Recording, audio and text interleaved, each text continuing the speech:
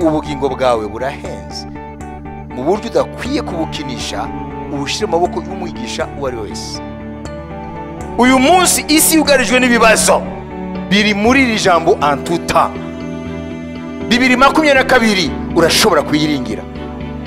Kandi ntabwo izagutenguha.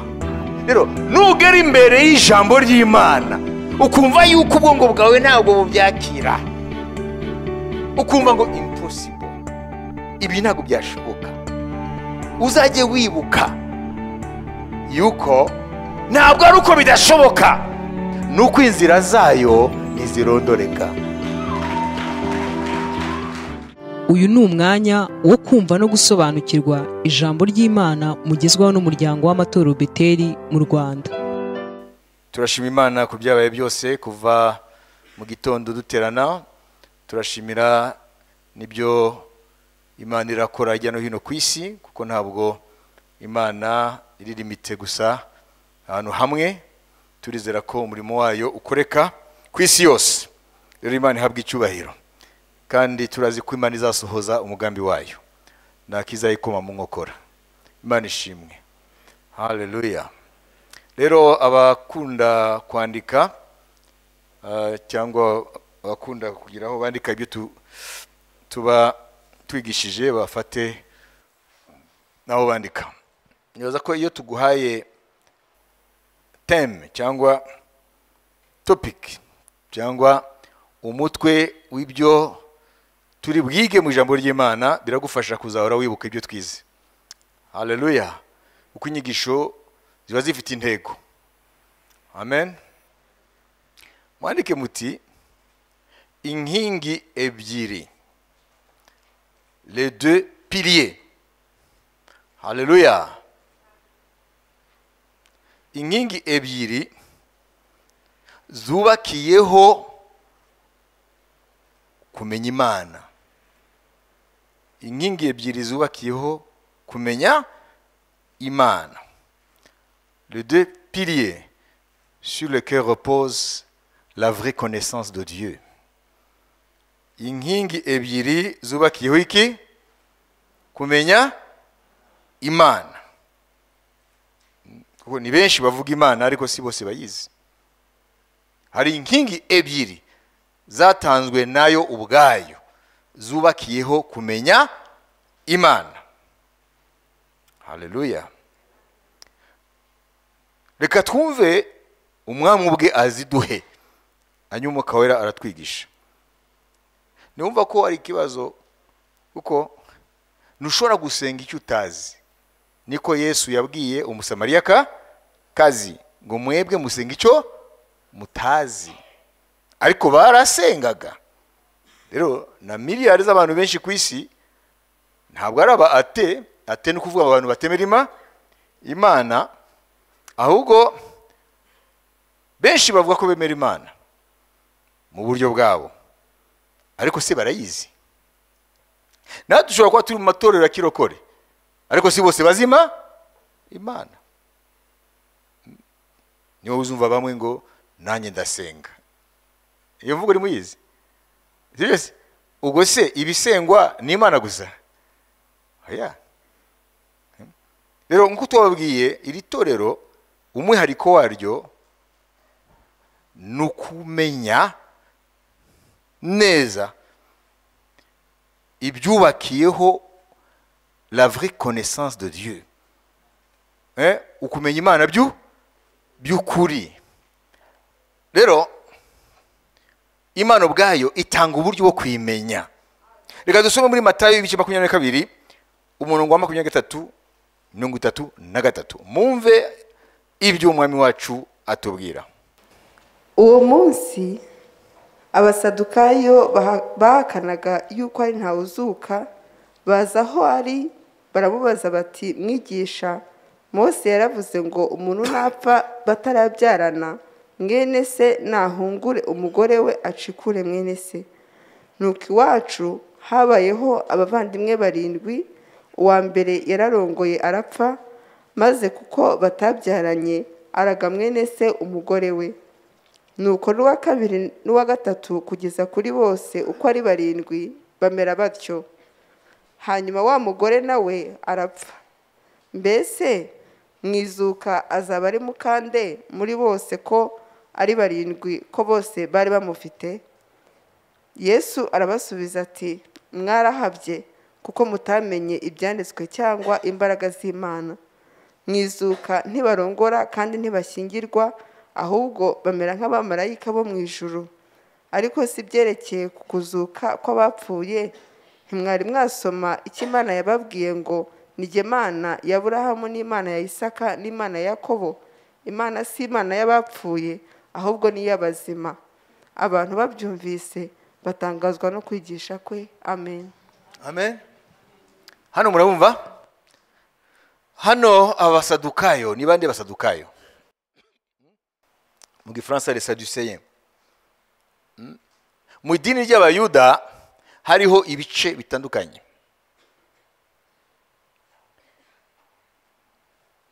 Hari abo mumenyereye bitwa abafa? Abafarisayo. Abafarisayo bo bemera ko haba isi y'umwuka bakemera n'izuka. Abafarisayo bemera ko les esprits existent. Mm, imyuka i? Ibaho. N'izuka?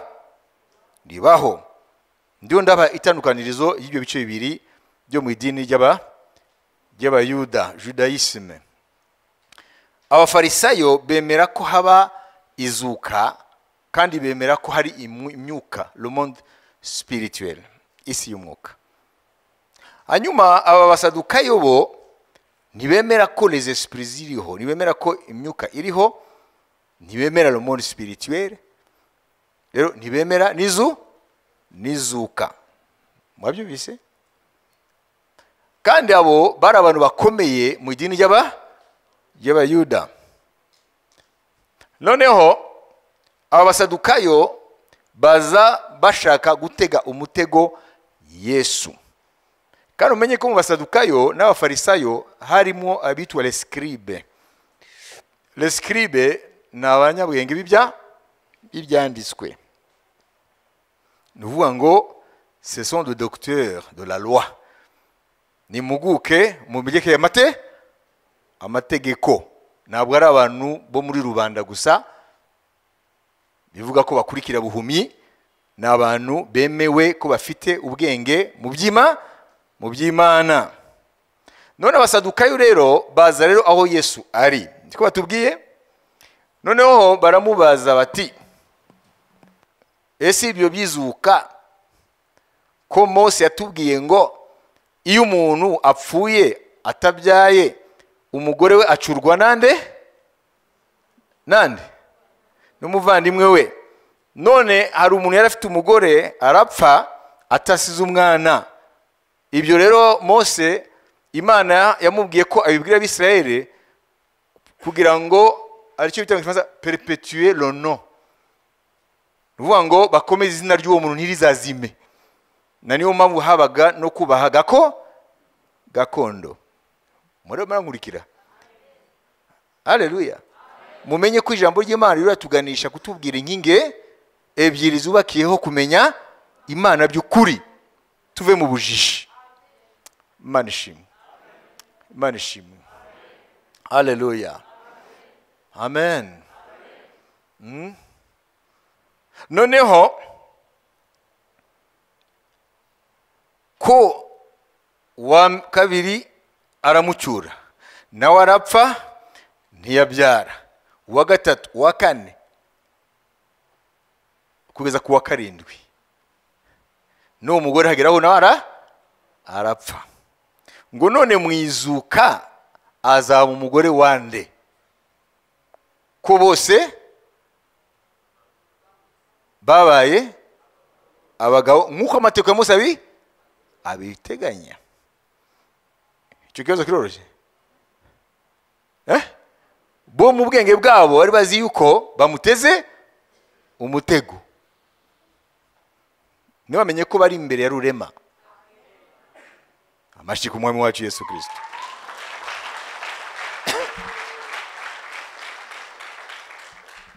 hanyuma ijambo tubwira twumve mu byo yashubije ni ho hariho igisubizo cy'azanginga ebyiri zo kumenya imana by'ukuri. Amen? Arababwira kuri makumyabiri n'icyenda aho ni ho hari ijambo nababwiye. Soma makumyabiri n'icyenda. Yesu arabasubiza ati mwarahabye kuko mutamenye ibyanditswe cyangwa imbaraga z'imana. Amen. Umviriza yesu kugira ngo atangire abasobanurire arabwira ngo umviriza jésus leur répondit vous êtes dans l'erreur. Mwarayobye. Niwumva ko dushobora kuvuga ko tuzi imana kandi tu kandi twa? Twarayobye. Aba ntabwo ari abantu b'abaswa. Aba ni abantu b'intiti mu by'imana. Cyangwa mu mategeko ya mose. Aba ni abasadukayo ce ne sont pas des profanes mu by'imana. Ntabwo ari abantu bari hariya b'abapagani bari hariya. Bivuga ngo ni abantu bahagaze eh, mu bwenge bwo kumenya imana mu isano rya kera amategeko ariko ba barayobye. Bafite idini ntibafite imana. Abanje kubabwira iki? Ngo mwa? Mwarayobye vous êtes dans l'erreur. Iyo umuntu ari muri erreur murumva erreur icyo ari cyo aba yibwira ko afite ukuri kandi ntako. Arakomeza parce que vous ne comprenez ni les écritures. Kuko mutamenye ibyanditswe. Vous ne comprenez ni les écritures. Ntimuzi ibyanditswe byera inkingi ya mbere yo kumenya imana ni ukumenya ibyanditswe byera. Amashyi menshi ku yesu. Kuko hanze y'ibyanditswe byera ubwenge bwawe buragushuka. Ntabwo ari imana nyamana uba wizeye. Inkingi ya kabiri. Umva? Vous ne comprenez ni. Les écritures in- inkingi ya mbere ni? Kumenya ibya? Mu ijambo rimwe kumenya bibiliya. Sibyo? Inkingi ya kabiri ni la puissance de dieu. Cyangwa imbaraga z'imana. Inkingi ya kabiri ni imbaraga z'imana. Kubera iki? Kubera ko ntabwo ari ukumenya gusa ibyanditswe byera ngo uzajye ubisubiramo nk'agasuku ahubwo ukwiye no kwizera imbaraga za rurema zibisohoza. Amashyi menshi ku mwami yesu kirisito ni ukuvuga ngo kumenya ibyanditswe byera ni kimwe kandi ni by'ingenzi ni inkingi imana yashyizeho kugira ngo abantu bayimenye. Kuko ntabwo wamenya imana itaboneka atari yo ubwayo yivuze. Ibyanditswe byera rero bitumenyekanisha imana icyo yavuze. Hanyuma si ibyo gusa ukwiye no kwizera kumenya imbaraga zayo ukazizera zisohoza biriya byanditswe byera. Kubera ko mu byanditswe byera byinshi ntabwo bihwanye n'ibitekerezo byacu. Ibyo imana ivuga bicarenjinga ibitekerezo by'umuntu. Ibyo imana ivuga bikubita hasi ibitekerezo byawe kugeza aho utangira kumva yuko ibi bintu bitari byo. Niyo mpamvu yesu avuga ngo vous êtes dans l'erreur. Mwarayobye nubwo mwitwa abigisha aba abandi by'idini mwarayobye. Hmm? ushobora kuba pasitori warayobye ukanayobya. Mwabyumvise?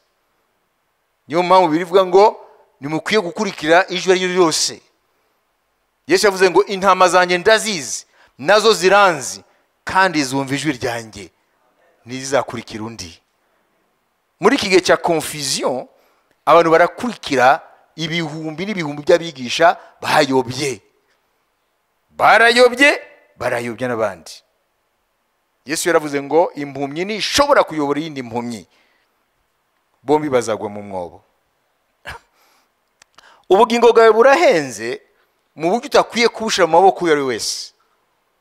Ubugingo bwawe burahenze. Mu buryo udakwiye kubukinisha ubushyire mu maboko y'umwigisha uwo ari we wese. Kuko mu byo utunze byose ntabwo ihwanye n'ubugingo. Ibindi uzabisiga mu isi. Numvise ko n'uwo mugore abantu barindwi baramu bara si bamusize abagabo bangahe? Barindwi baramusize. Hari uwajyanye nawe? None se nimba uwo mugore ari we yari ari we bacungiyeho wa mugani wanyu. Ntibyari kuba ikibazo. Baramusize.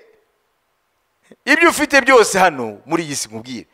Umugore umugabo abana amasambu amafaranga ibyo byose ni ntizanyo z'akanya gato. Icyo ufite wowe kirenze ibindi. Setonami it's your soul. Ni ubugingo bwawe. Na niyo mpamvu utakwiye na rimwe kwibagirwa ko icyo ufite kihenze imana aguhaye ni ubugingo bwawe. Ibindi byose ni iby'akanya gato. Umugore ni akanya gato mwahuriye muri iyi si umwe natanga undi guhamagarwa azamusiga wabyumvise? Icyo azaba nyuma si ibyawe? Ashobora kuzahinduka umugore w'umwanzi wawe. Yesu arababwira abasadukayo ngo mu muri mu buyobe. Ntabwo muzi inkingi ebyiri zubakiyeho kumenya imana byu- by'ukuri. Kumenya ibyanditswe byera kandi bitwa ko bigisha ibya ibyanditswe byera. Amategeko ya mose. Ariko arababwiye ngo mwebwe mwarayobye. Ntabwo muzi ibyanditswe byera byahumetswe n'imana. Icya kabiri ntimuzi n'imbaraga zayo zibisohoza. Haleluya none akomeza rero kubasobanurira kuri cya kibazo rero. Niwumva ibi maze kuvuga uraza kumva n'ibindi rero. Mu izuka ntibarongora kandi ntibashyingirwa ahubwo bamera nk'abamarayika bo mu ijuru. Ko niko bizamera? Ariko se ibyerekeye ku- kuzuka kw'abapfuye ntimwari mwasoma icyo imana yababwiye? Ngo mana ya burahamu n'imana ya isaka n'imana ya yakobo. Imana si imana y'abapfuye ahubwo ni iy'abazima. Abantu babyumvise batangazwa no kwigisha kwe. Amen. Amen. Imana ntabwo ari iy'abapfuye. Ni imana icya mbere mu izuka ntabwo tuzaba turi do sexe masculine cyangwa femine izi genda zizaba zirangiranye n'iyi si kuko les anges n'ont pas de sexe. Marayika ntabwo ari umugabo cyangwa umu umugore. Ngo niko natwe tuzamera. Urumva? Amen? Niko tuza? Tuzamera malheur aux partisans de la théorie du sexe fort. Ahubwo abandi bavuga ngo hari, ha- hari muri genda ati aba barakomeye kurusha aba. Ntabwo ari byo. Kubera ko imana muri iyi si yaturemye gutyo kugira ngo dushobore kubya kubera no gukwira isi nk'uko yabivuze haleluya. Noneho imana igatanga n'amarori atandukanye ikurikije n'ukuntu yagiye iturema ari abagabo ari abagore. Ariko ikintu gikuru ni ukumenya ngo hari ibyo muri iyi si byari ngombwa hariho n'ibyo mu ijuru. Mu ijuru rero nta bagabo nta nta bagore. Ngo tuzamera nk'abama nk'abamarayika icyo mwacyumvise ngo kuba abantu bazazuka byo baza bazazuka. Ngo kubera iki? Ngo ko imana yiyise imana ya aburahamu ya isaka na yakobo kandi barapfuye. Ngo imbere yayo ni bazima. Kuba umuntu ari muzima imbere y'imana si uko ari mu mubiri gusa.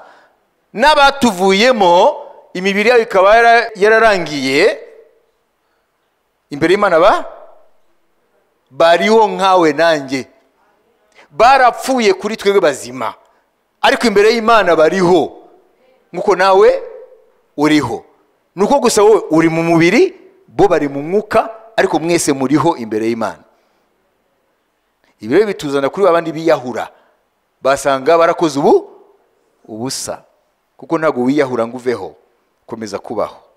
Kugeza ngo wabyumvise ngo abantu batangazwa niki ni ukwigisha kwe. Babasadukayo mwigeze mwumva bongera kumubaza? Ahubwo ngo noneho bagenzi babo rero cya gice kindi kirabimenya.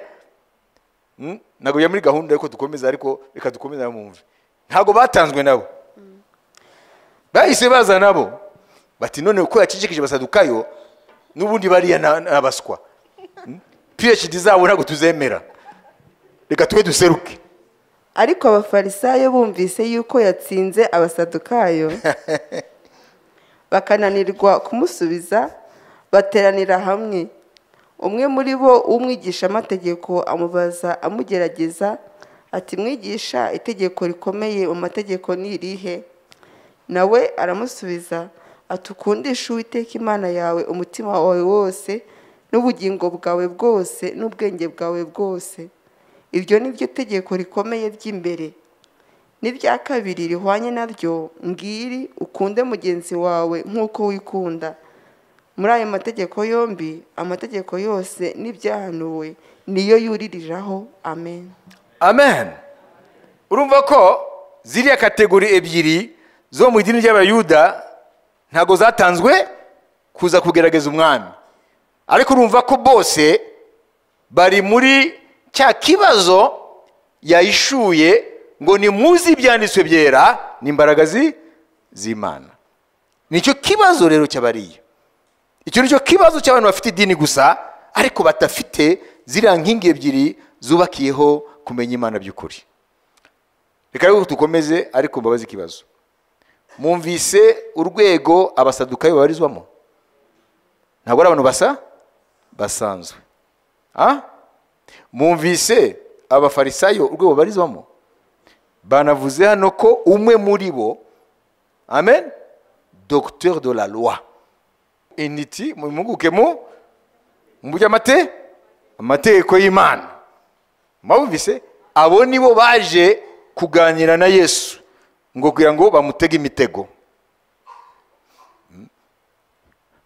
none nimba bariya docteurs de la loi abo banyabwenge mu byerekeye amategeko. Nimba barayobye bakaba batazi ibyanditswe byera. Bafite inyuguti ntibafite ubumenyi bw'umwuka wera. Nimba barayobye ari abafarisayo ari abasadukayo bo muri ya rwego none aba bantu basanzwe bayobye bingana gute?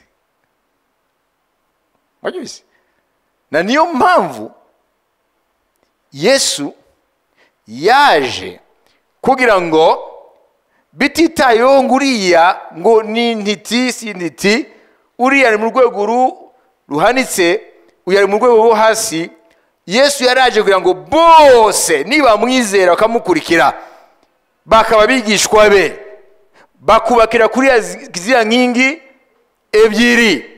Bazaba abantu bafite ukumenya imana nzima kuzuye. Amashimeje ku mwami yesu kirisito niyo mpamvu birivuga ngo yesa yarahanuye imyaka irenga magana arindwi imbere ya yesu ngo hazaba inzira yera. Hmm? rero aravuga yesu ko yesu yaza avuga ni- ni we nzira nuku nukuri n'ubugingo hazaba inzira yera ngo abanduye imitima abahumanye ntibazayinyuramo ngo izaba inzira y'abayo ngo ariko ngo n'abantu badafite ubwenge bw'isi. Eh? mu gifaransa ngo memereze ignorant. Abo abafarisayo n'abasadukayo bita inji injiji. Haleluya ngo nibamwizera bakanyura muri iyo nzira ntibazayoba. Ntibazayoba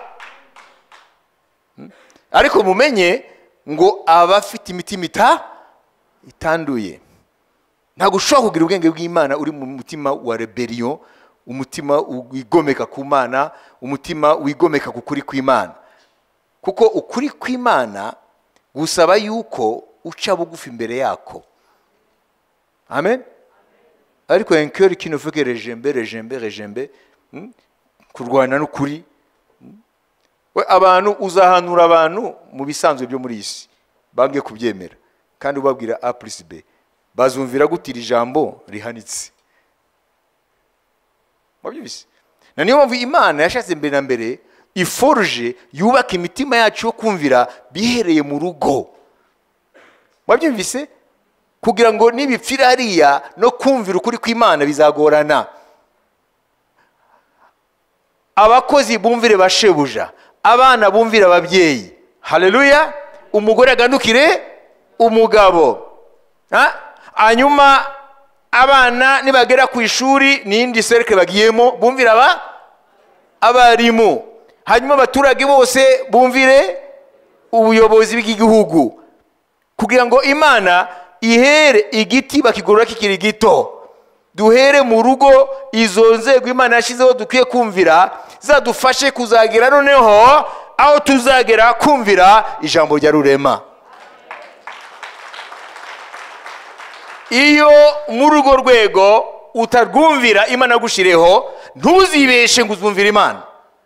Uzaba urayoba nk'abasadukayo n'aba? N'aba? N'abafarisayo nyine ndabyumvise mu rugo wowe umuntu mukuru araguhamagaye arakubwira atakurenganya a plus b. sibyo? Ukazamura intugu. Eh, uzumvira imana koma. Ni nka kuriya. Haleluya. Haleluya. Bibiri ivuga ngo uzakunda imana gute utabona? Byakuraniye gukunda abantu ubona. Baremwe mu ishusho y'i- y'imana. Ntibishoboka. Hmm? ni ukuvuga ngo l'obéissance et la soumission. Ko biratandukanye? On peut obéir sans être soumis. Obéissance ni ukubaha mu buryo bugaragara bwo hanze soumission ni état d'esprit ni imbere imana ntabwo isaba ngo obeyise gusa ube sumi mwabyumvise haleluya haleluya muribuka wa mugaba w'ingabo ijana. Umwe yesu yakirije umuga. Avuga ngo "Nu- sinkwiriye ko uzi iwanjye yamubwiye iki yamubwiye iki ngo aux autorités. Ah, kuko yari munsi y'ubutware bw'umusirikare mukuru nawe gutyo kugeza kwa kayi kayizari iyo niyo chaîne de commandement ya autorité. Haleluya ugira ubutware kubera wubaha umutware ari hejuru yawe. Ubwawe ntabwo ufite ubutware intrinseke ntabwo ufite ubutware muri wowe. Ubutware uba ufite kubera ubukomoza kuri hejuru yawe. Imana ihabwa icyubahiro. Haleluya ariko igihe wowe ugomera uwimana agushize hejuru yawe ntuzibaze yuko uzumvira imana kuko l'autorité au-dessus de toute autorité ni imana. Ariko iyo shene iragenda kugera no mu rugo rero. Wabyumvise iva ku mana no mu rugo. Haleluya haleluya amen. Eh ntabwo byoroshye. Vuga uti ntabwo byoroshye. Hari abantu mu rugo batera akavuyo bakigomeka ku buyobozi buri mu rugo hanyuma bakaza mu nzu y'imana ngo ngo bazumvira imana. Ngo mana ngo urabona n'ubundi ntabwo bashobotse. Ntabwo bashobotse. Eh? ntabwo bashobotse. Tukwiye kwitonda. Iyo ni shene ya otoriti haleluya ntabwo bikwiye kuza mu nzu yanjye. Nanjye ndi munsi y'u- y'ubutware bunkuriye. Abo nanjye nkuriye ndabwira genda garuka. Baru barumvira nkanswe wowe. Supreme authority. L'autorité supreme. Ngo icyo wavuga utarenze kujya iwanjye kirakoreka. Ati nanjye ndaka autorité gato. Ijambo ryanjye rira? Muti rirakora? Eh? Muri kasifere mfite imperium. Imperium mu kilatini ni ubusho? Ubutware mu gasifere gato ka imperium mfite mu basirikare ijana ntwara iryo mvuze? Rirumvirwa kuko ntabwo ari babona. Babona unguriye bigakomeza. Bakabona kayi kayizari niyo mpamvu banyubara. Niyo mpamvu bagenda.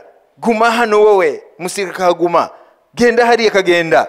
None ndi en face ya l'autorité supreme amen? Supreme authority. Eh? si ngombwa ko wirusha ngo u- ufa- ugende amaguru vuga ijambo rimwe umugabo wanjye arakira. Yesu ngo aramutangarira. Ngo no muri isirayeli sinigeze mbona kwizera nk'uko. Il avait compris la chaîne de commandement la chaîne de l'autorité. Twebwe benshi ntabwo barabimenye bakibaza ngo nasuzugura ababyeyi ngo nuko ngo nuko abasinzi ngo nasuzugura umugabo ngo nuko nta gafaranga yigirira ngo nasuzugura umwarimu ngo ni ukubera ko aturuka mu muryango ukize mwarimu nta n'imodoka afite. Eh! Urasuzugura imana ubwayo kuko niyo sheni imana yashyizeho ninde yabitahuye? Uyu munsi wihane. Haleluya haleluya ntabwo uzasimbuka uru rwego imana yagushyizeho ngo ugiye kumvira urwego ruhanitse rw'imana. Ntibishoboka. Kadukomeze. Haleluya haleluya none ikiganiro cya yesu na- na- n'abasadukayo noneho n'abafarisayo naho baratonda. Mwabyumvise? Abasadukayo yesu yabahaye inkingi ebyiri zubakiyeho kumenya imana by'ukuri.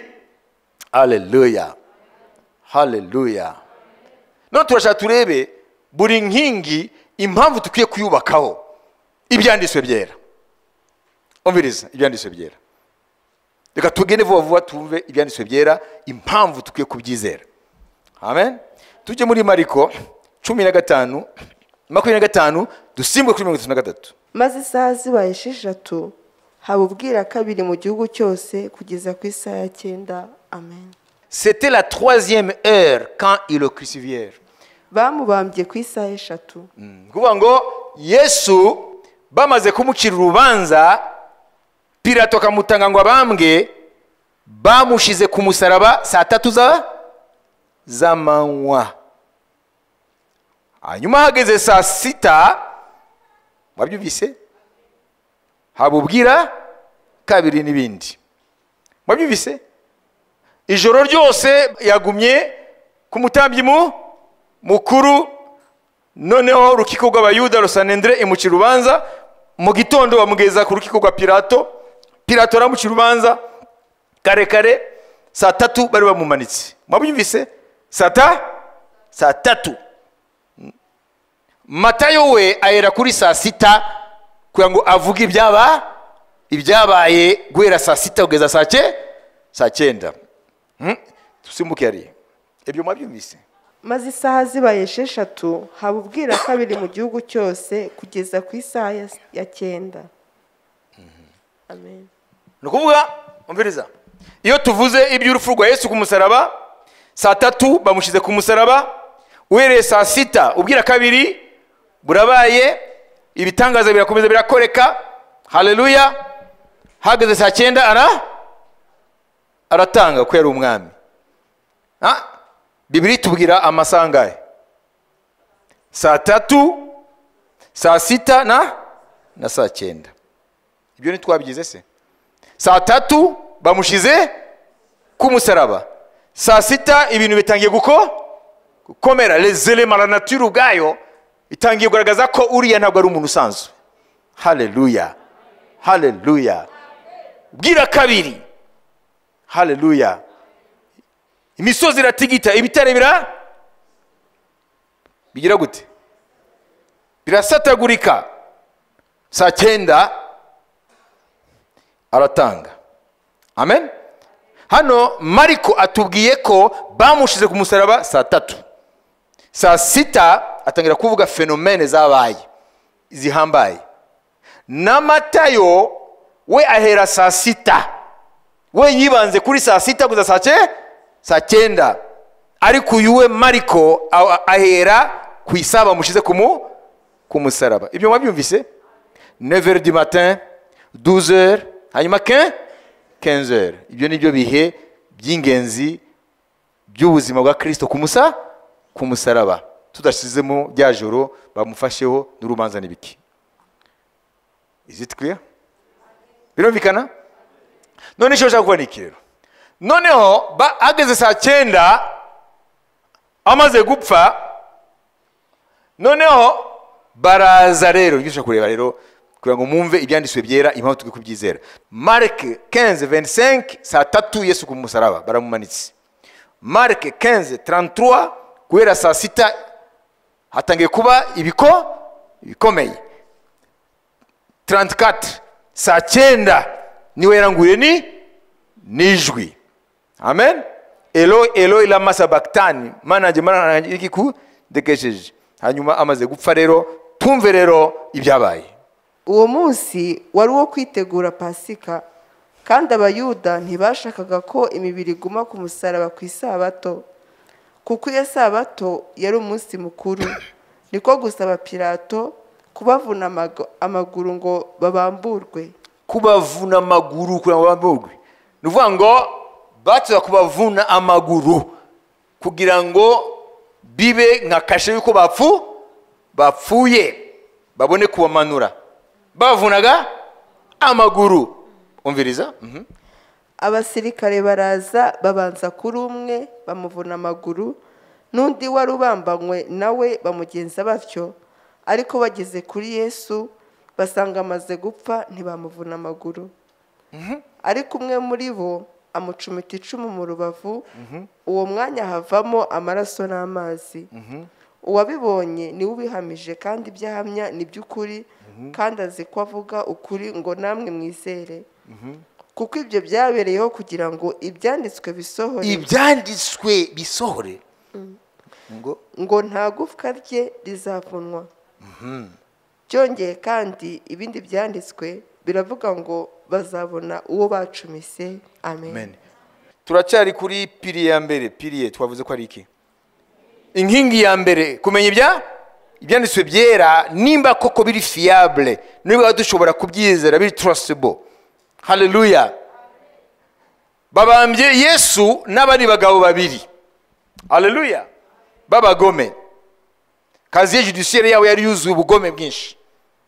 Noneho murumva? Bari ku musaraba hano batubwiye ngo kubera saa tatu. Amen? Bari ku musaraba. Za mu gitondo.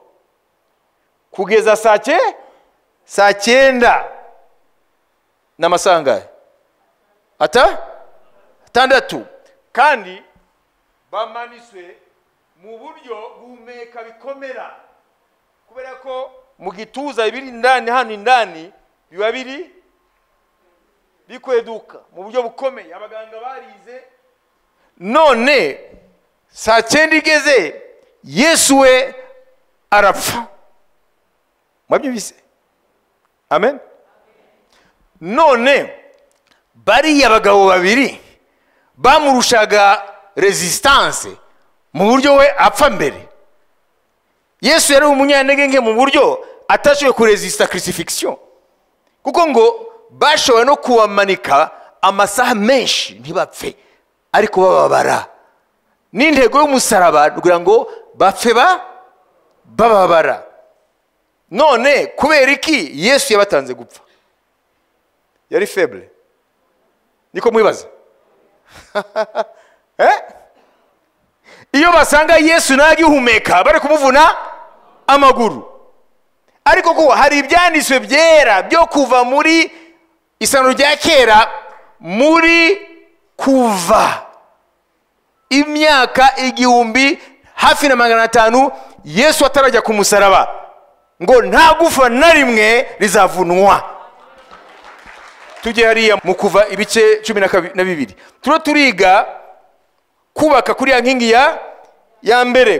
Kuva vuba vuba haleluya haleluya mwageze cumi na kabiri mirongo ine na gatandatu wa mwana w'intama wa pasika muramwibuka bazarya inyama z'uwo mwana w'intama ariko ntibazavuna igufa bye gukurwa mu nzu ngo bijyanwe mu yindi. Ntugasohokane n'intongo y'iyo nyama. Kandi ntimukavuneho igufwa na rimwe. Amen. Amen. Kubera ko yesu ari we wa mwana w'intama babaze muri egiputa muri rya joro rya pasika ngo bave mu gihugu cy'uburetwa. Uriya mwana w'intama buri muryango wabaze mu baheburayo yamenyekanishaga yesu. None imana yavuze ngo ntibazavune igufa na rimwe. Imana rero iramenyekanisha ko yesu najya ku musaraba nta gufa na rimwe rye rizavunwa. Bazamushyira mu gituro nta gufa bavunnye ariko ko byari ngombwa ko amaraso n'amazi bisohoka imana yemeye ko bamucumita. None ni gute? Pirato ntabwo azi ibyanditswe byera. Bariya basirikare bagiye kuvuna amaguru y'imfungwa ziri cyangwa bariya bamanitswe ku musaraba. Ntabwo bari bazi ibyanditswe byera. Kubera iki? Bageze kuri yesu ntibakorere nawe bamuvuna amaguru nk'abandi. Wabyumvise ntabwo bari bazi ibyanditswe byera. Nuko ibyanditswe byera iyo bigeze mu mateka iyo bigeze muri koronosi kugira ngo bishyirwe mu bikorwa byinjiye mu mateka y'abantu ibyanditswe byera bifata ibintu n'abantu bikabakoresha. Haleluya haleluya ni byo bita kairosi y'imana. Ni ukuvuga ngo iyo ijambo imana yavuze. Eh, hageze yuko igihe cy'imana yuko iryo jambo risohora rikinya mu mateka y'abantu iyo iki gihe kigeze ibintu byose n'abantu bose n'abadayimoni bose n'abamarayika bose ibyaremwe byose ibihumeka n'ibidahumeka haleluya. Meme temps était créé n'ibihe byararemwe haleluya. Na espace cosmos yararemwe buri kintu cyose cyaremwe gihumeka kidahumeka ha haleluya. Meme le temps n'ibihe. Iyo ijambo ry'imana ryinjiye mu mateka le temps joue dans le camp de dieu. N'ibihe bijya muri ekipe y'imana bigatsindana n'imana. Niyo mpamvu utakwiye na rimwe gusoma ijambo ry'imana hano wibaze ngo bizasohora bite? Nahoze nibaza muri iyi minsi nese ko handitse ko goge umutware w'amagoge ari bwo burusiya n'umutware wabwo wo mu gihe cya nyuma. Ko bazava hariya kasikazi extreme nord septentrion. Bakazashora intambara bagatera kugeza muri isirayeli eh? ese bizagenda gute ese ni putine cyangwa? Igihe nikigera imana izirongera goge kuko igihe nikigera imana yirongera umuntu. Igihe kigeze ko yesu agambanirwa imana yirongera yuda. Igihe nikigera kigeze aho yesu avuka imana yirongera umwari mariya. Mwabyumvise mwabyumvise iyo igihe ikintu kigeze haleluya jehova yire arirongera. Igihe kigeze yuko ubuhanuzi bwa zakariya ngo umukobwa w'isiyoni nezerwa umwami wawe aje aciye bugufi yicaye ku cyana cy'indogobe igihe kigeze yuko yesu yinjira muri yerusalemu yicaye ku cyana cy'indogobe jehova yire yarirongeye icyana cy'indogobe igihe cyose ijambo ry'imana rigira risohore imana irironkera. Oh haleluya furahia bwana yesu furahia bwana yesu. Haleluya ntuzavuge ngo ese ko imana nayisenze? Imvane muri uyu mwenda imvane muri iki kibazo izabigenza gute? Eh? izabigenza gute? Uba uhagaze mu mwanya w'abasadukayo. Ngo uri mu buyobe ntuzi ibyanditswe? Byera. Mwabyumvise ubwo ni urugero rumwe mu ngero nyinshi nari kuba mwumvise? Baragiye bavunnye amaguru y'abandi. Bamanitse ku musaraba ari babiri. Bageze kuri yesu ni ntibamuvuna ngo kuko handitswe ngo nta gufare izavuna icyo ni igitangaza. Haleluya ils pas delibere ngo babikore. Barabikoze spontanema. Haleluya Eh? kuko akwiye kuzuka muzima. Eh? haleluya Eh? ibyo murabibona si imbaraga z'ijambo ry'imana haleluya amen. Noneho turebe rero iriya nkingi ya kabiri mbere yuko iya mbere mwayibonye? Ibyanditswe bijyanye n'ibyo kwi? Kwizerwa. Muvuge muti ibyanditswe bijyanye n'ibyo kwizerwa. Ariko se barabyizera? Abantu bafite idini gusa? Barasoma ijambo ry'imana hano ntibaryumve? Kubera ko satani yarabahumye. Rero ntabwo tumenya gusa ibyanditswe byera bibiliya ibyo imana yavuze dukwiye no kwizera imbaraga zayo zidashobora na rimwe kuneshwa cyangwa kudasoza ubushake bwayo. Haleluya. Kugira ngo tuvuge imbaraga z'imana hari ibintu imana iduhamagarira murabona yesaya mirongo ine. Amen? Haleluya yesaya mirongo ine imana arayivuga ishaka kubwira abantu imbaraga zayo. Urazi icyo yakoresheje? Yakoresheje ibyo twita uno munsi l'astrophysique. Amanye? Amanyenyeri n'isanzure za planete amanyenyeri amagalagisi Eh, abantu bibaza ngo ngo bibiliya eh, ni igitabo kiri profane mu bya siyansi. No. Gatusome gato gusa. Yesaya ibice mirongo ine umurongo wa cumi na kabiri cumi n'umunani. Imana ubwayo iravuga. Mm. ikanavuga imbaraga zayo. Ninde wigeze kugera amazi y'inyanja ku rushyi? Akageresha ijuru intambwe z'intoki akabona indengo yajyamo umukungugu wo ku isi agashyira imisozi mu gipimo n'udusozi akatugera mu minzani. Ninde wigeze kugenzura umwuka w'uwiteka akamuhugura nk'umugira inama?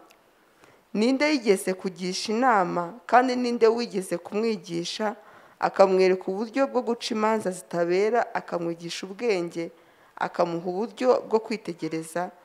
Dore amahanga ameze nk'igitonyanga kiri mu kibindi. Amahanga ameze nk'igitonyanga. Murabona agatonyanga murakabona? Ngo imbere y'ayo mahanga ameze nk'igitonyanga iyo mana ingana gute? Irakomeza iravuga. Agereranywa n'umukungugu ufashe ku minzani. Umukungugu. Dore aterura ibirwa nk'uterura akantu gato cyane. Murumva? I lebanoni ntihaba inkwi zo gucana zihagije kandi n'inyamaswa zaho ntizashyika kuba igitambo cyoswa. Mu maso ye amahanga yose ni nk'ubusa. Mu maso ye amahanga ni nk'ubusa. Kuri we abarwa nk'ubusa ndetse ari hanyuma y'ubusa. Amen. Amen. Hano imana itubwiye ku byo tubonesha ama amaso hano ku isi. None imana iravuga ngo rero reka rero mbabwire ibyo amaso yanyu areba, areba hejuru. Hano imana yavuze ama amahanga n'ibirwa n'ibiki byose. Sibyo? Ni isi ya yacu. Imana irafite umubare no hejuru rero. Tugerera ku murongo wa makumyabiri na gatandatu. Imana ubwo iravuga ngo zamura amaso yanyu murebe ku ijuru. 26 mwubure amaso yanyu murebe hejuru. Ninde waremye biriya agashora ingabo zabyo mu mitwe zose akazihamagara mu mazina? Kuko afite imbaraga nyinshi akagira amaboko n'ububasha ni cyo gituma nta na kimwe kizimira. Amen. Amen. Kurikira ibyo ngira mvuge biri very important. Kurikira.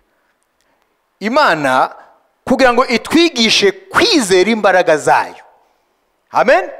Kuzimenya no kwizera imbaraga zayo bitubashishe kwizera bya byanditswe byera ya nkingi ya mbere nubwo ubwenge bwacu bwa- butabitahura ariko tumenye ko yabivuze ifite n'imbaraga zihagije zo kubisoza. Mwabyumvise? Amen? Imana ngo nimubanze murebe ibyo muzi. Mukore geogra geography murebe amahanga. Murebe inyanja ibirwa byo mu nyanja. Ati biriya byose mubona kuri jyewe bimeze nk'agatonyanga. Bimeze nk'umuku nk'agakungugu k'umuzani noneho tureke ibyo rero. Nimurebe rero ku ijuru ku ijuru haba iki? Amanyenyeri. Ariko uyu munsi kubera ko siyanse yageze kure turashobora kureba n'amaso yacu ata atareba kubera za telesikope ibyuma bikabuhariwe bireba kure cyane. Amen? Haleluya haleluya haleluya murabizi ko izuba umucyo wayo kugira ngo tugere hano twabivuze kenshi ufata iminota umunani. Kuko izuba riri kuri miliyoni ijana na mirongo itanu za kilometero uvuye hano. Iri zuba umucyo waryo. Umara iminota munani mu nzi? Mu nzira umucyo uvuduka ku muvuduko w'ibirometero ibihumbi magana atatu. Ku ise? Ku isegonda rimwumva ibyo. Umucyo uvuduka haleluya eh, darovide uvuduka ibirometero ibihumbi ma reba ku isaha yawe isegonda urabona ko iyo segonda igize ka umucyo uba wageye ibirometero ibihumbi ma magana atatu. Iyo ku isaha yawe pa akasegonda apana umunota umucyo uba wavudutse ibirometero ibihumbi magana atatu. Izuba rero umucyo uva ari ukagera ku isi umaze iminota umunani. None umviriza. Kugira ngo singiye kure kubera umwanya bidufashe kumenya ibyo imana yavuze. Si yavuze ngo leve yeux.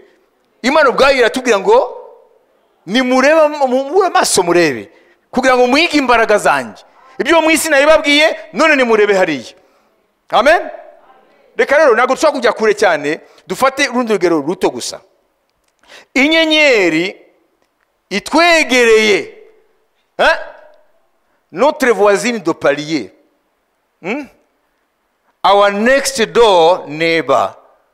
Inyenyeri iri hafi yacu ya systeme solaire turimo inyenyeri iri hafi. Murazi aho iri? Inyenyeri iri hafi.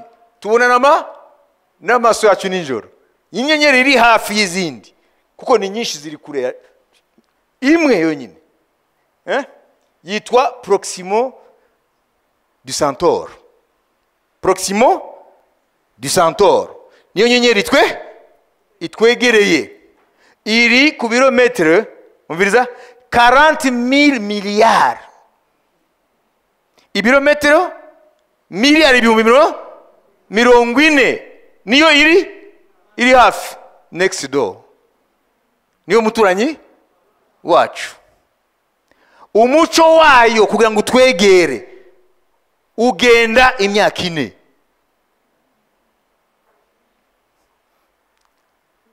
Bamwe sinzi ngo bakinkurikira Eh, ntabwo ari igihe none bajyana mu bintu komplike n'imana yabivuze hano.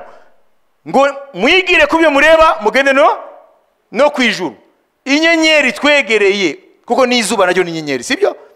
Kuko izana umu? Umuco inyenyeri iri hafi yitwa proximo du centaure iri ku birometero ibihumbi mirongo ine miliyari. 40 mille miliyari de kilometre. Miliyari ibihumbi mirongo ine niho iri umuco wayo umara imyaka ine ugenda. Ku muvuduko w'ibirometero ibihumbi magana atatu ku isegonde. Umuvuduko segonda imwe ibirometero magana atatu. Ukamara? Imyaka? Ine. Ngo utugereho hano. Murumva mu- murumva ibyo ari byo kandi iyo niyo iri? Iri hafi. None iri kure yo bimeze gute? Mwabyumvise? Mwabyumvise? Nibyo imana ivuga hano ngo nimushaka kumenya imbaraga zanjye nimwigire ku byo naremye. Imana ishimwe. Izuba rimaze miliyari hafi eshanu. Imana iriremye. Izuba iri. Rimaze imyaka miliyari hafi eshanu. Wabyumvise? Wabyumvise? Imiliyari hafi eshanu. Izuba naryo rirazenguruka.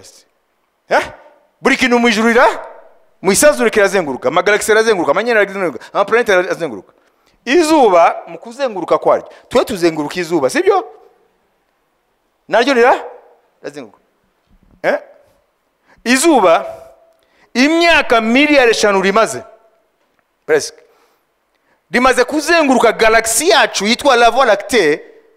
Umva mu mi- miliyari eshanu. Izuba rimaze kuzenguruka la voie lactée galagisi turimo irimo miliyari ijana by'amanyenyeri imaze kuzunguruka inshuro cumi n'umunani gusa. Galagisi ingana gute? Eh? Eh? Nimuzajya mumenya gusa kubara amafaranga mwahembwe nimumenye no gukoresha ubwonko mwumvire ibyo imana yavuze. Ngo nimwigire ku ngabo zo ku ijuru na remi Ha? izuba rimaze kuzenguruka mu miliyari eshanu y'imyaka rimaze rimaze kuzenguruka galagisi yacu inshuro cumi n'umunani. Bivuga ngo galagisi ingana gute? Irarenze. Mwabibise iyo ni galagisi imwe. Hariho za miliyari z'amagalagisi na galagisi yose ifite miliyari na miliyari y'amanyenyeri y'amazuba. None wenda ndashaka kubabaza. Iyo mana yabiremye imbaraga zayo zingana gute? Zingana gute? Siyo mpamvu yavuze sura nk'iyo jambo. Siyo mpamvu yavuze ariya ku murongo wa cumi n'umunani yesaya mirongo ine. Imana irabaza. Nuko rero imana mwayihwanya nande cyangwa mwayigereranya n'ishusho ki? Ha. imana ubwayo irabaza ngo imana mwayihwanya nande? Mwayiha iyo shusho ki rero yesu rero ibyo yabwiye bariya sadukayo ni byo atubwira uyu munsi. Nimumenye ibyanditswe byera ko ari byo. Nubwo mutabyumva mu bwongo ni byo. Haleluya nunabisoma ukumva yuko utabitahura ni byo. Muvuge inshuro eshatu ni byo. Reka n'abazimu n'abadayimoni bose babyumve.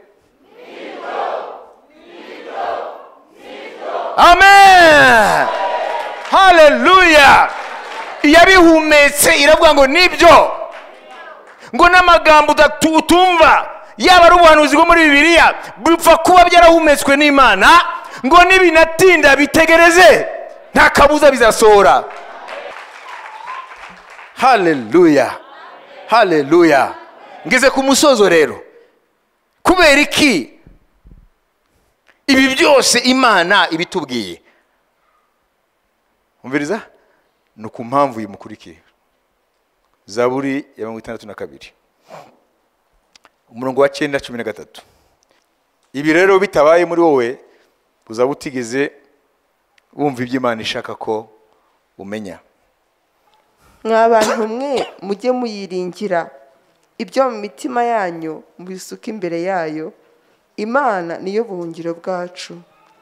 Ni ukuri aboroheje ni umwuka gusa kandi abakomeye ni ibinyoma. Nibashyirwa mu gipimo ntibazika bazateruka. Bose bateranye umwuka ubarusha kuremera. Bose twese miliyari hafi umunani zituye isi Ha? twese ngo umwuka uturusha? Kuremera. Iyo muri mu muhanda ugasanga umuntu aragenda yidunda yidunda. Se uyu muntu? Imana iramureba bati bitebye. Eh? Wabyumvise twese n'ubwenge bwacu n'ibiki byose n'amatekinoloji byose ngo dushyize ku munzani miliyari zirenga zirindwi zituye isi uyu munsi.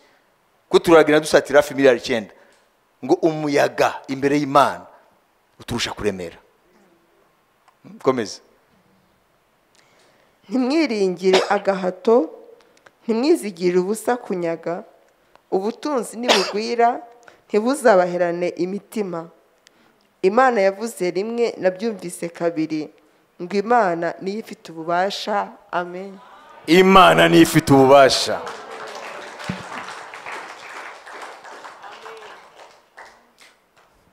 Mbere ko mba imirongo ibiri gusa isigaye ndashaka kubabwira ikintu kimwe. Hano ku murongo w'icyenda ngo en tout temps. Eh, soba. Temps. Mwa bantu mwe mujye muyiringira. Ah. en tout temps. Mu bihe byose peuple mw'abantu mwe. Confiez-vous en lui. Musuke ibibaremera mu mitima imbere yayo. Kuko imbaraga zayo ntabwo zineshwa. Ntabwo tuyiringira gusa mu bihe byoroheje. Tout temps. Amen? All the all the time. Uyu munsi isi yugarijwe n'ibibazo. Biri muri iri jambo temps bibiri makumyabiri na kabiri urashobora kuyiringira. Kandi ntabwo izagutenguha. Imana ihabwa icyubahiro. Temps haleluya igihe cyose uriho uzajya wibuka ngo ndi muri iri temps. Ni ukuvuga ngo nta gihe cyo kuyiringira n'igihe byarenze itakwiringirwa. Iriringirwa all the time. Iriringirwa temps. Imana ihabwa icyubahiro. Uyu munsi ibyo urimo byose urashobora kuyiringira. Ariko bikaba bishingiye ku nkingi ebyiri. Kumenya ibyanditswe byera ibyo yavuze ukizera n'imbaraga zayo zibiso zibisohoza. Imana ishimwe cyane. Haleluya nubwo nubwo umviriza nubwo inzira zayo zitarondoreka. Iyo turangirizaho abaroma cumi na rimwe. Mirongo itatu na gatatu mirongo itatu na gatandatu. Aha ni ho bitugorera rero twebwe. Aha ni ho tunanirwa kuyiringira. Ngo ibyayo ntabwo bisobanutse. Mbega uburyo ubutunzi n'ubwenge n'ubumenyi by'imana bitagira akagero. Imigambi yayo ntihishurika n'inzira zayo ntizirondoreka. Ninde wamenya ibyo uwiteka atekereza cyangwa ngo abe umujyanama we? Ninde wabanje kumuha ngo azamwiture? Kandi byose ari we bikomokaho akabibeshaho akaba ari nawe tubikesha. Icyubahiro kibi cy'iteka ryose. Twese ngo amen. Amen. Ibintu bibiri ni ibi ngo que ces jugements sont insondables. Hariya kuri mirongo itatu na gatatu. Mbega uburyo ubutunzi n'ubwenge n'ubumenyi by'imana bitagira akagero. Et ses voies incompréhensibles. Imigambi yayo ntihishurika. Inzira zayo ntabwo zirondoreka. Kuba rero inzira zayo zitarondoreka biratugora kwemera ibyo ivuga kubera ko twebwe dufite ubwonko eh, bu- bu- bupima ikiro n'amagarama magana atatu. Ubwonko bwacu bupima ikiro n'amagarama magana atatu. Einstein albert einstein amaze gupfa mu bihe byashize bahise kubera ubwenge bwamugaragayeho ubuhanga akavumbura ibintu bikomeye akavumbura isi eh, n'ibyayo eh, akamenya ko rukuruzi ntabwo ari imbaraga ahubwo ibintu byose mu isanzure bigonda icyo bita espace temps akavumbura umuvuduko w'umucyo yuko nta kirusha umucyo umu umuvuduko. Haleluya akabyita ko ari constante universelle. Ni ukuvuga ngo iyo ikintu icyo ari cyo cyose gifite masse. Kiramutse gihawe imbaraga ngo kivuduke ntigishobora kurira ku muvuduko w'umu w'umucyo kubera ko kigera ahantu noneho kugisunika bikaba bitagishoboka. Mwabyumvise? Haleluya nta kintu cyavuduka kurusha umu umucyo. Kubera ko umucyo ntabwo ufite masse. Haleluya umucyo niwo kugeza uno munsi rokoro umuvuduko. Haleluya haleluya ariko kugira ngo tubone ikindi cyavuduka nk'umucyo cyangwa kirenga umucyo gikwiye kuba kidafite masse intrinsèque nta masse gifite. Electron ifite umuvuduko ifite masse umucyo rero kugeza uno munsi niyo constante universelle muri physique. Ntabwo umucyo hari ikintu kirawurenza umuvuduko. Uwo ni einstein n'ibindi byose yagiye avumbura ibyo cya relativité générale ibyo byose ni ibintu byinshi yavumbuye uriya mugabo. Noneho bahita bavuga ngo rero ngo bahabwe uburenganzira n'umuryango umuntu bafite aho bahurira kugira ngo babemerere kujya kureba umutwe wa einstein noneho bafate serivu ubwonko. Barebe ko buhwanye n'ubwacu. Barebe ko adashobora kuba afite ubwonko bupima nk'ibiro bibiri kurusha abandi bantu. Kubera ubwenge. Umviriza rero basize bimeze gute? Bajyanye ubwonko bwe muri laboratwari wumva yari atarabora sibyo? Bahawe uburenganzira bwo kujya kujyana ubwonko. Basanga ubwonko bwe ni nk'ubwawe na nanjye. Nta kintu na kimwe gitandukanye. Nubwo ari albert einstein. Icyo rero iyo siyansi itazi rero. Ntabwo bazi ko ubwenge ntabwo buba mu bwonko. Ubwenge buba mu mwuka. Ubwenge buba mu bugingo.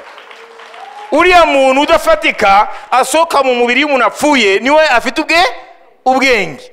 Ntabwo ari iriya bwonko bapima muri laboratwari ni ukuvuga ngo rero imana hano iratubwira ngo ibyo mudashobora kumva mu ijambo ryanjye kuko mubona bibarenze ni uko inzira zanjye ntabwo zirondoreka ariko ntibuza ko ziba ari ukuri. Amashyi menshi.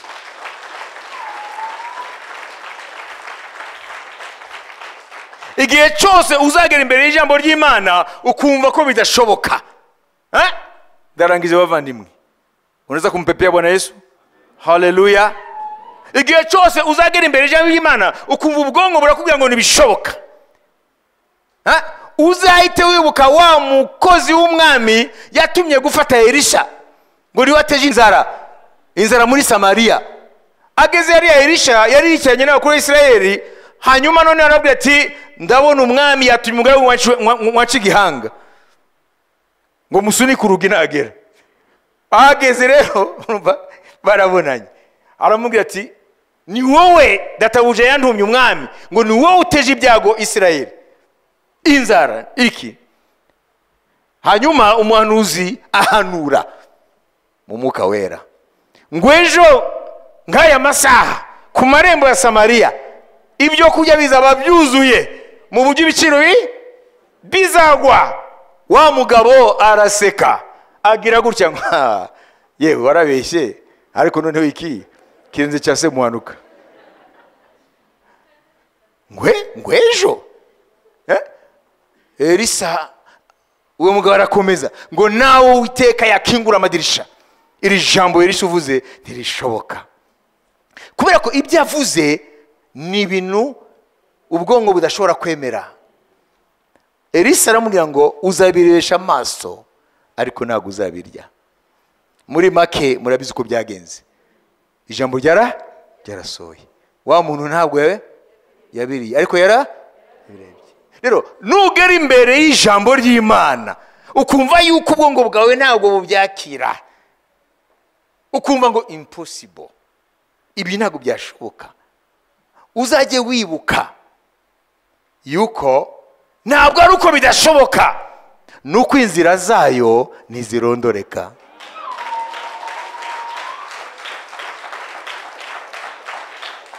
Imana ibabwiye hano icyo muzaba tuvuga impanda itavuze icyo uzaba mu myaka itanu iri imbere. Uyu munsi nimba ari imana ibivuze nimba ari imana ibivuze uyu munsi wowe n'abandi bazabyumva bazavuga ngo uri uriterije ke. Ibyo ntabwo bishoboka. Ibi bya bindi by'abarokore. Muruta ku manywa y'ihangu. Mugaca n'imigani ku manywa y'ihangu. Ariko nimba ari imana yabivuze ryumeho. Piga amakofi kwa bwana yesu kirisito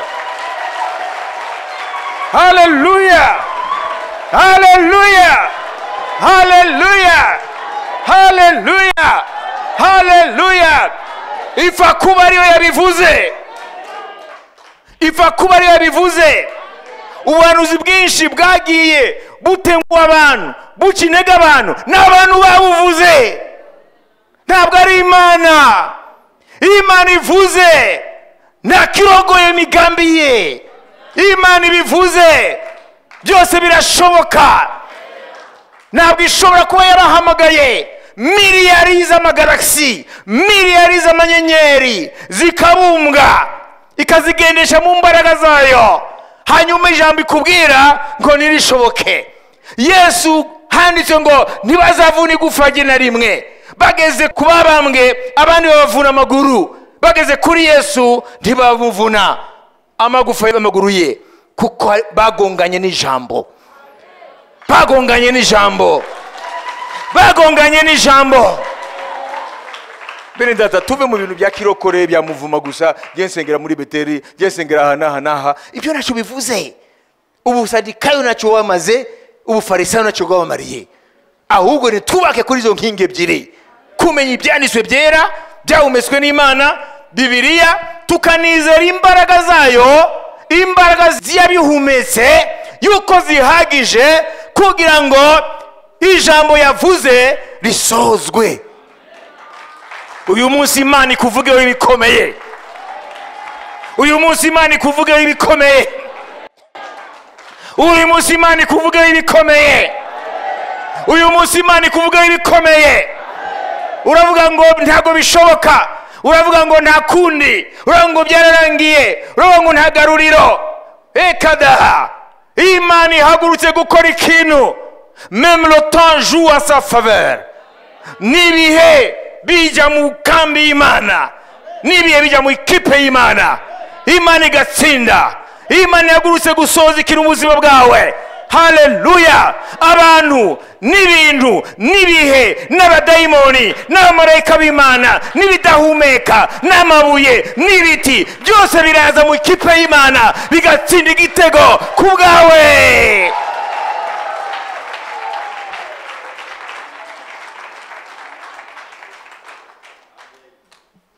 Ikibazo ni uko inzira zayo ntago irondoreka ariko ntibivuga ko atari zo. Wabyumvise?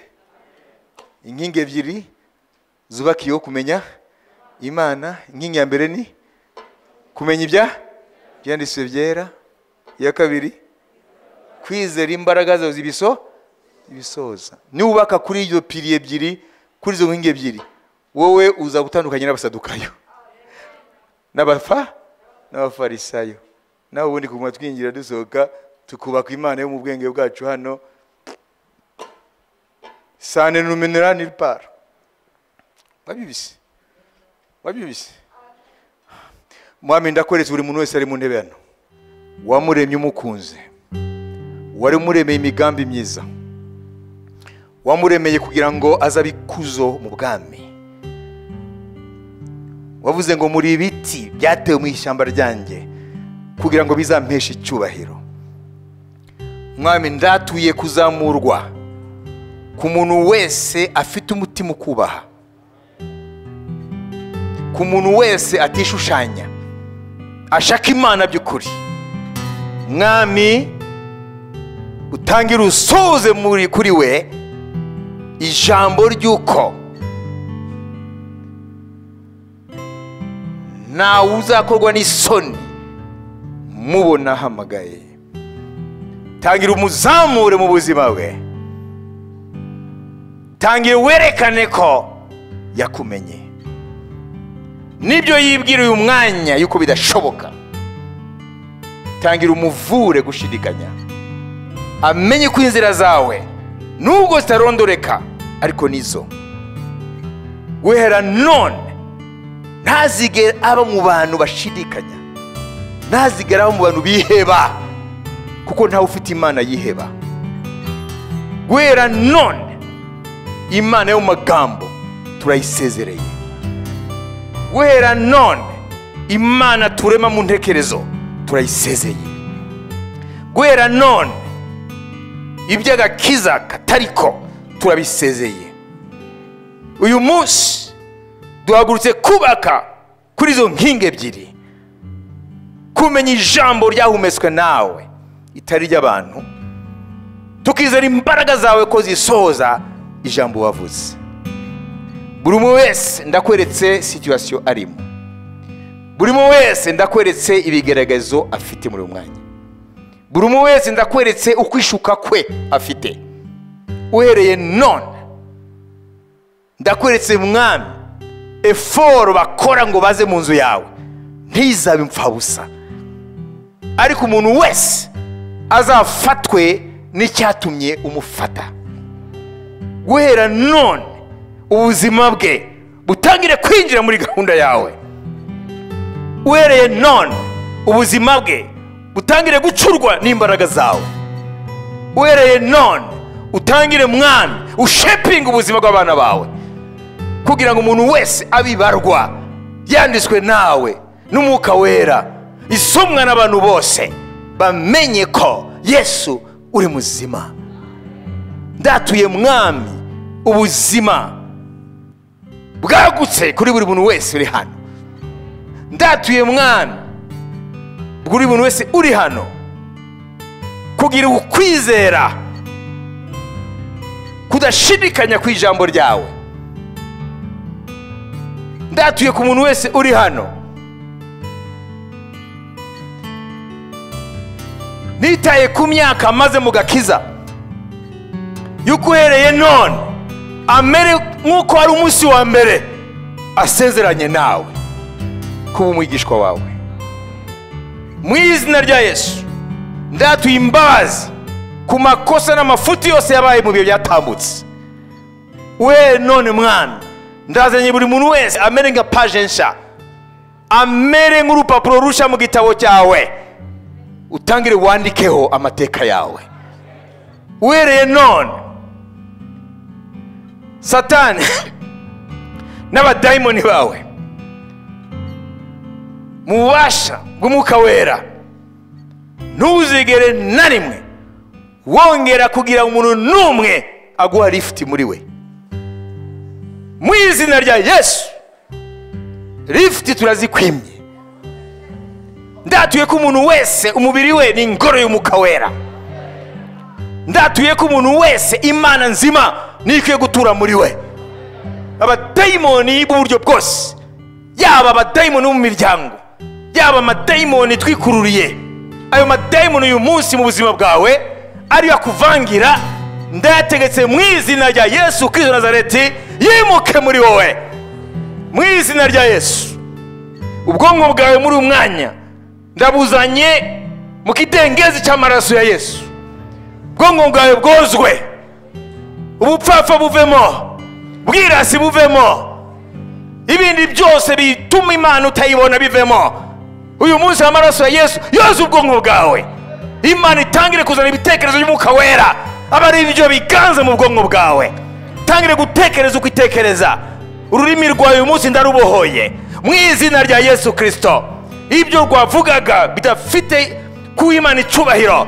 Uyu munsi amadayimoni yakoreshaga ururimi rwawe. Ndayategetse mu izina rya yesu arurekure muri uyu mwanya. Kubera yuko ububasha bw'urupfu n'ubugingo buri ku rurimi. Uhereye none ndatuye insinzi mu buzima bwawe. Uhereye none ndatuye ubuzima buzira umuze mu buzima bwawe.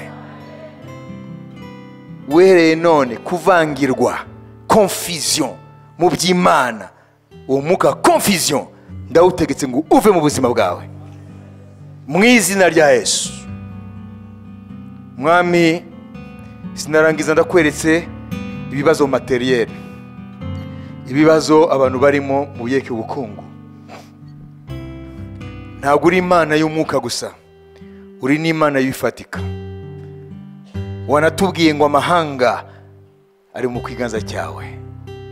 Buri muntu wese mwami ugende mu buzima bwe umuvane muri konterente yose umuvane mu mbago kugira ngo mu bana bawe ntihazabe. Mwami kuba mu buzima bwa etuwatesi mu buzima buto ariko ubuzima bwabo bugaragaremo imana ngari. Abakora ubagure no muri kirize ekonomike finansiyeri ubagure mu izina rya yesu. Abadafite akazi umwami umaze guhindura ubwonko birimo tangira uberekeza oporutunite bakingurire amarembo babone akazi keza. Mu izina rya yesu umudayimoni w'ubukene n'ubutindi namwirukanye muri wowe no mu muryango wawe mu izina rya yesu kirisito manke kubura tega amatwi muvandimwe kubura no kuburanirwa muri bihe. Uhereye none mu izina rya yesu kirisito bishyizweho iherezo.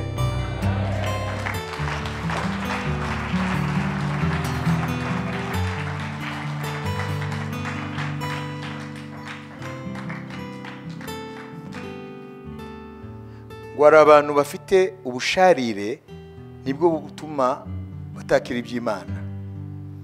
Muribuka amazi yitwa mara abisirayeli bavuye muri egiputa. Ah, hari ijambo mara rije. Eh, bavuye muri egiputa bajya kunywa amazi. Kubasanga amazi ara arasharira. Hmm, ahantu hitwa mara. Hmm, imana yabwira mose ngo reka nkwereke igiti ujugunyemo amazi araza ku- kuba mazima. Haleluya rero umutima w'abantu bamwe hano uri mara ufite ameritume urashaririye. Uri furisitire imana iravuga ngo uwo mutima ni jyewe nawuvura. Mpamagara. Ndagukuramo mara. Hanyuma ubuzima bwawe ndaburyoshya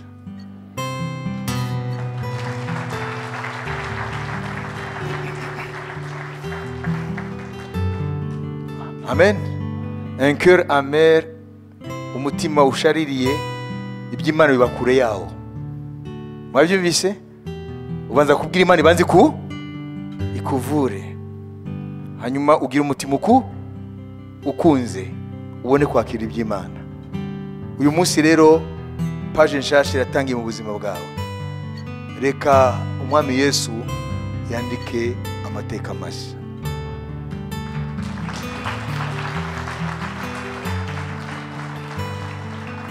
Buryo uzaba ufite ishema ryo kumuvuga. Haleluya. Haleluya. Kera sinzi kera abo umwami yagabiraga bagenda bamwirahira. Sibyo? Uno munsi wirahira nde? Uno munsi wirahira nde? Urirahira yesu? Ese umaze kumva abantu birahira yesu? Eh kera umwami abo yagabiraga bara yesu rero ibyo agira gukorere. Amen. Haleluya murabizi ko ntakunda ya evanjiri ya prosperity? Ntimubizi yewe nkunda amavanjiri ane ya gatanu ntabwo nyemera. Ariko uyu munsi aje kubwira ko yesu arashaka uyu munsi gukora imirimo muri wowe. Mu buryo ubuzima bwawe buzatuma umwirahira.